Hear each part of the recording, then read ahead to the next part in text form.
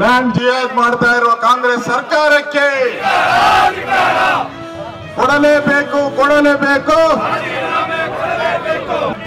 ಕೊಡಲೇಬೇಕು ಕೊಡಲೇಬೇಕು ಕೊಡಲೇಬೇಕು ಕೊಡಲೇಬೇಕು ಈ ಒಂದು ಪ್ರತಿಭಟನೆಯ ಇವತ್ತು ನಾವು ಮಾಡ್ತಾ ಇದ್ದೇವೆ.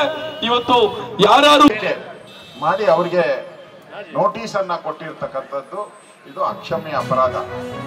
ಕಾಂಗ್ರೆಸ್ ಸಾವಿರದ ಒಂಬೈನೂರ ಎಪ್ಪತ್ತೈದನೇ ಇಸ್ವಿಯಲ್ಲಿದ್ದಂತ ಕಾಂಗ್ರೆಸ್ ಸರ್ಕಾರ. ಇದಕ್ಕೆ ಮೂಲ ಕಾರಣ. ಮುಸಲ್ಮಾನರ ಟೋಪಿ ತೆಗ್ದಿದ್ದೀರಾ? ತಿರುಗಿ ಮಸೀದಿಗೆ ಹೋಗಿ ತಿರುಗಿ ಟೋಪಿ ಹಾಕಿದ್ರೆ ನಮ್ ಕತೆ ಏನು? ಈ ಟೋಪಿಯನ್ನ ತೆಗ್ದಿದ್ದೀರಾ? ನೆಕ್ಸ್ಟ್ ರೈತರ ತಲೆ ಮೇಲೆ ಟೋಪಿ ಹಾಕ್ಬಿಟ್ರೆ ಯಾರು ನಂಬ್ತಾರೆ ನಿಮ್ಮನ್ನ? ಹತ್ತು ಸಾವಿರ ಕೋಟಿ ಹಾಕೋದ್ರಲ್ಲಿ ಲೂಟಿ. ಇವತ್ತು ಬೆಂಗಳೂರಿನ ರಸ್ತೆ ಈಗ ಕರ್ನಾಟಕದಲ್ಲಿ ಈ ಭಯೋತ್ಪಾದಕ ವ್ಯಕ್ತಿಗಳು, ಮತಾಂಧ ಮುಸ್ಲಿಮರು ಆರ ಮಗುವಿನ, ಮಗುವಿನಂತೆ ಮಲಗ್ಬೋದು. ಯಾರು ಏನು ಮಾಡಲ್ಲ.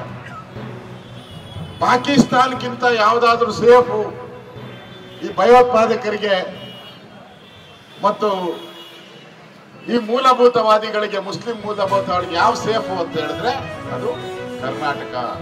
ಮೂಡ ಕೇಸಲ್ಲೂ ಹಂಗೆ ಹೇಳಿದ್ರಿ. ನಾನ್ ಯಾಕೆ ಸೈಟು ವಾಪಸ್ ಕೊಡ್ಲಿ? ಅರವತ್ನಾಲ್ಕು ಕೋಟಿ ಕೊಡ್ತೀರಾ ಅಂದ್ರಿ. ಆಮೇಲೆ ಏನ್ ಮಾಡಿದ್ರಿ? ಸೈಟೇ ವಾಪಸ್ ಕೊಡ್ರಿ. ಹೆಂಗ್ ನಂಬ್ತಾರೆ ನಿಮ್ಮನ್ನ? ಯಾವ ಕಾರಣಕ್ಕೆ ನಂಬೇಕು ನಿಮ್ಮನ್ನ? ದಯವಿಟ್ಟು ನಮ್ಮ ಹೋರಾಟ ನಿಲ್ಲದೇ ಇಲ್ಲ. ನಿಮ್ಮ ಸುಳ್ಳು ಏನು ಹೇಳಿಕೆಗಳನ್ನ ಕೊಡ್ತಾ ಇದ್ದೀರಾ? ಅದಕ್ಕೆ ನಾವು ನಮ್ಮ ಹೋರಾಟ ನಿಲ್ಲಲ್ಲ. ಹೋರಾಟ ಮುಂದುವರಿಸ್ತೀರಿ.